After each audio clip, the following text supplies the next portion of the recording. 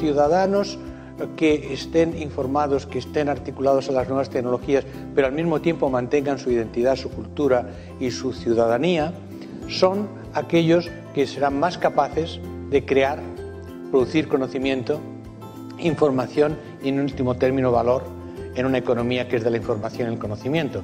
Bueno, yo la verdad eh, discutiría el concepto de sociedad virtual, sociedad real. Creo que la virtualidad en la que vivimos es una de las dimensiones fundamentales de nuestra realidad. O sea, eh, vivimos con Internet. No vivimos en Internet o para Internet, pero con Internet.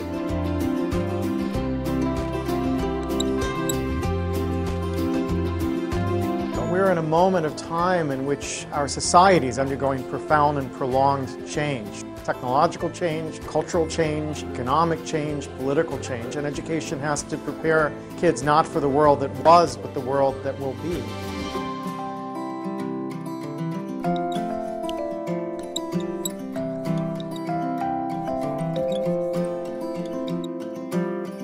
And human resources are like natural resources, they're often buried deep. You have to go looking for them. They're not just lying around on the surface. You have to create the circumstances where they show themselves. And you might imagine education would be the way that happens, but too often it's not. Every education system in the world is being reformed at the moment, and it's not enough. What we need, and the word's been used many times during the course of the past few days, is not evolution, but a revolution in education. This has to be transformed into something else. And the reason so many people are opting out of education is because it doesn't feed their spirit, it doesn't feed their energy or their passion. So I think we have to change metaphors. We have to go from what is essentially an industrial model of education, a manufacturing model, which is based on linearity and conformity and batching people. We have to move to a model that is based more on principles of agriculture. We have to recognize that human flourishing is not a mechanical process, it's an organic process. And you cannot predict the outcome of human development. All you can do is, like a farmer, is create the conditions under which they will begin to flourish. So when we look at reforming education and transforming it, it isn't like cloning a system. Now, in this room, there are people who represent extraordinary resources in business, in multimedia, uh, in the internet. These technologies combined with extraordinary talents of teachers, provide an opportunity to revolutionize education. One of the important aspects of the learning process that students need to learn is that it's social, it's connected, it's networked. It doesn't send the right message to students if we say, learn in social connected ways, but I'll teach you in one way. So the importance of teaching together is that it gives students a multidimensional experience of knowledge. It teaches students the importance of being connected and collaborating with others in activities that we're involved in. What's different today, I think, is that the knowledge pieces are fragmenting more, more rapidly and there's more fragments than there used to be. So what used to be, let's say, a 200-page textbook might today be a five-minute video on YouTube or a 10-minute lecture on uh, a different site. So the knowledge pieces are smaller now than they perhaps were in the past. But the interesting thing is once your knowledge pieces become smaller, there are more configurations available. So if you have five pieces of information, you can connect them a certain number of ways. So that's where we need to test the validity of the knowledge coherence that we're making. But all of these, again, are part of this process of being network and connected, and we form new ideas and we challenge those ideas through those networks. In a classroom, you can have students start playing with video recordings and remixing videos, and you can teach them how to begin to learn or function in a social network that maybe includes students from other cities. Now, none of these things mean you have to change your curriculum yet. These are all systems that allow you to change the teaching and learning process.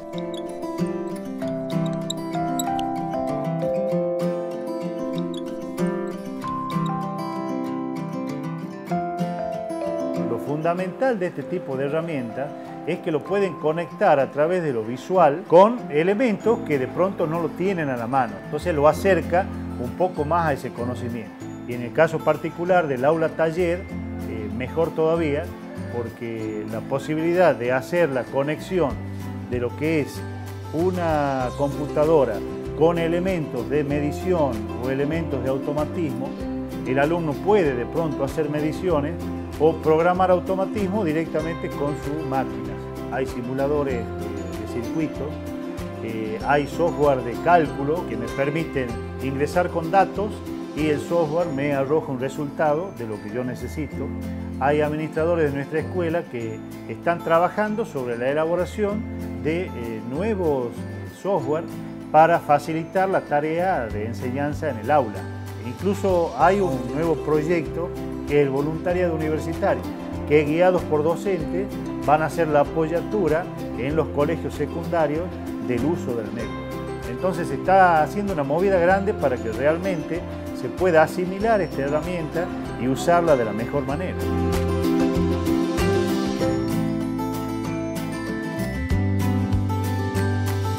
Hello, my name is Judy Harris.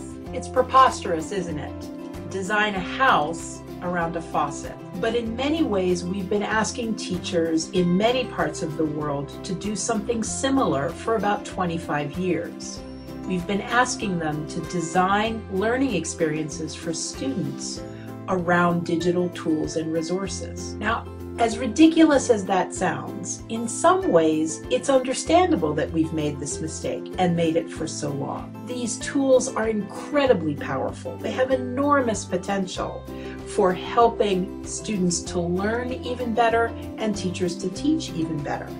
But the problem is when we look to the tools to suggest how we should teach, it's like having a shiny new hammer. Because when you have a shiny new hammer, everything can look like a nail.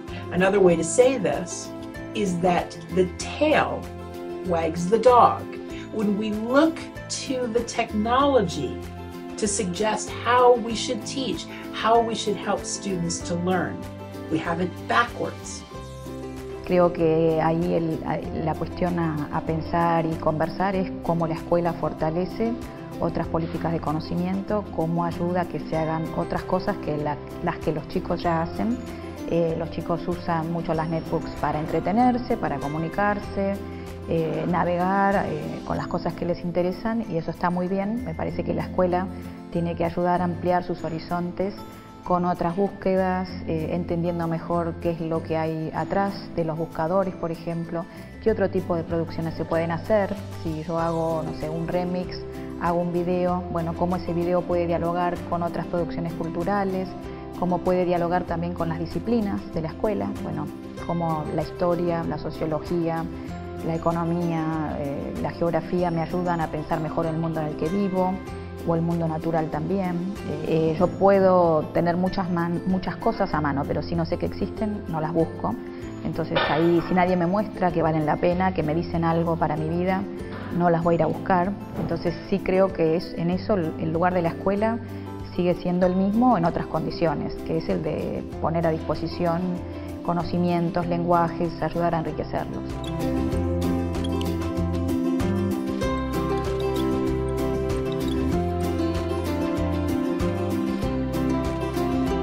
Traditionally think about the distinction between formal and informal education.